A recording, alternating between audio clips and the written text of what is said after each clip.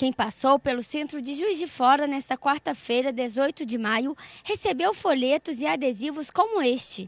A ação faz parte da semana do enfrentamento ao abuso e exploração sexual de crianças e adolescentes. Esse momento é para isso, para além dos informativos da semana de enfrentamento, nós estamos eh, levando também outras informações de saúde para a população de Juiz de Fora.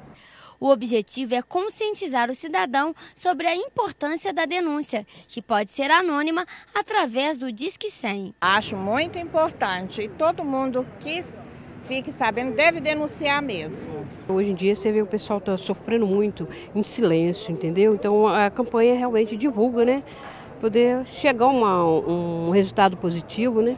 Representantes da Guarda Municipal e profissionais da saúde participaram da ação, como a estudante de enfermagem Maíra. Para mim é muito especial, porque a gente tem que conscientizar as pessoas sobre esse tipo, porque hoje em dia está muito recorrente, né? Essa violência contra as crianças e adolescentes.